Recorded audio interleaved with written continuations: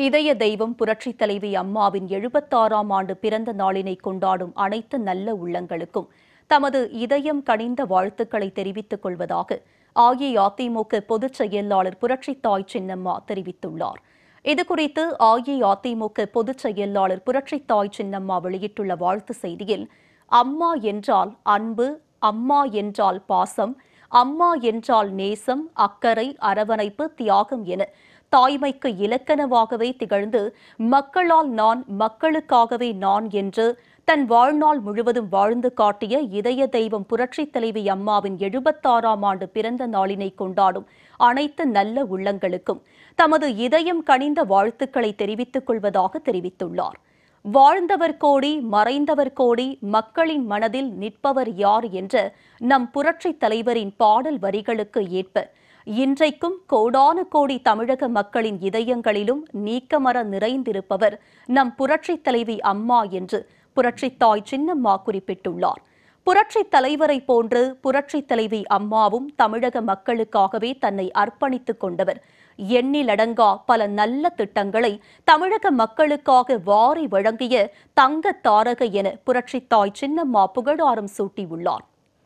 பொன்மனச் செம்மல் புரட்சித் தலைவரை போன்று புரட்சித் தலைவி அம்மாவும் தமிழ்நாட்டு மக்களின் உள்ளங்களில் இன்றைக்கும் வாழ்ந்து கொண்டிருக்கிறார். உலகமே வியக்கும் வண்ணம் புரட்சித் தலைவி அம்மா கொண்டு வந்த அத்துணை மக்கள் நலத் திட்டங்களும் இன்றைக்கும் பயனளித்து வருவதை யாராலும் மறுக்க முடியாது என புரட்சித் தாய் சின்னம்மா குறிப்பிட்டுள்ளார்.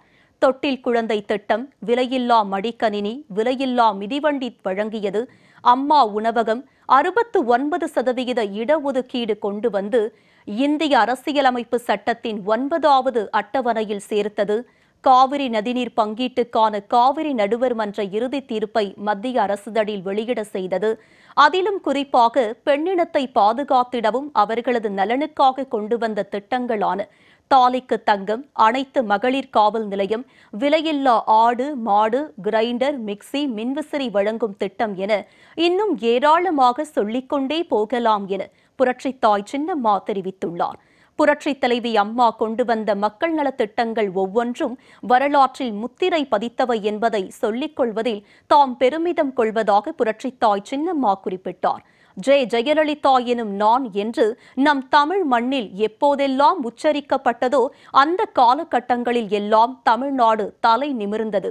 இன்னும் சொல்ல போனால் தமிழர்கள் தங்களது உரிமைகளை பறிகொடுத்து விடாமல் பாதுகாப்போடும் மகிழ்ச்சியோடும் வாழ முடிந்தது என்பதை இந்நேரத்தில் தெரிவித்துக் கொள்வதில் தாம் பெருமையடைவதாக புரட்சித்தாய் சின்னம்மா தெரிவித்துள்ளார். புரட்சித் தலைவி அம்மாவின் எண்ணங்கள் இன்றைக்கும் உயிர்ப்போடுதான் இருக்கிறது.